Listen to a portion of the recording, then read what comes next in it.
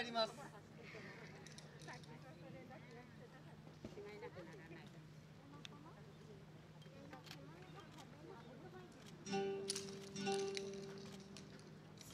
ここに語るは神の獣を宿す一人の巫女の物語。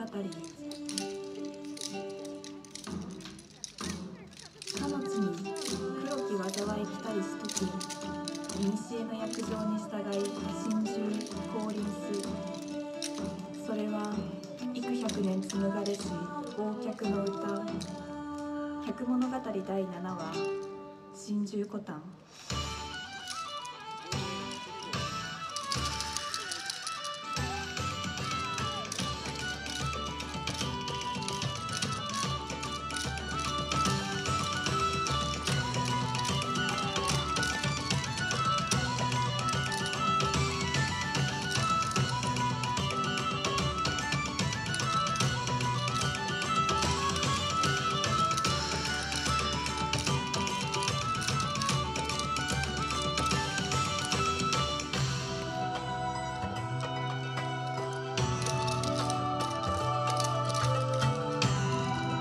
豊穣の祭り巫女と青年はひととき共に舞い踊り村人はやがて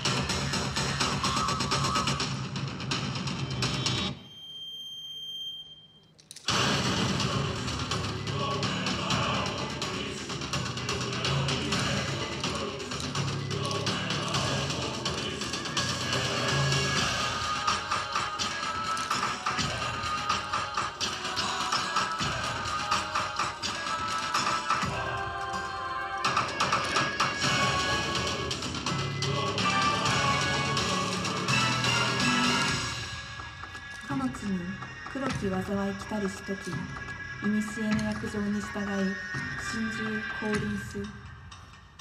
巫女はその手に剣を取った。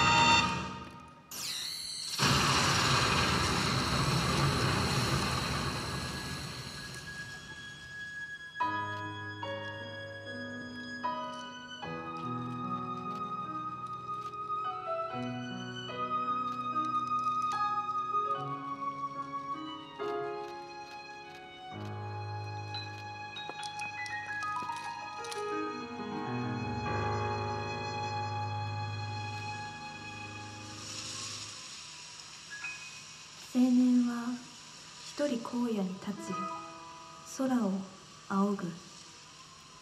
百物語第7話。これにて終幕。